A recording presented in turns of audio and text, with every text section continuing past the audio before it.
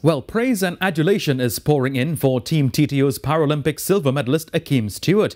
Minister of Sport and Community Development Shamfa Cudjoe Lewis has extended heartfelt congratulations to Akeem Stewart on his remarkable achievement of winning the silver medal at the Paris Paralympics Games 2024.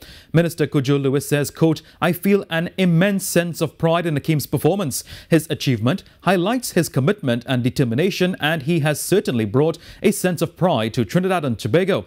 Akeem continues to inspire the nation with his talent and perseverance, serving as a role model for athletes across all disciplines. End quote. Well done indeed.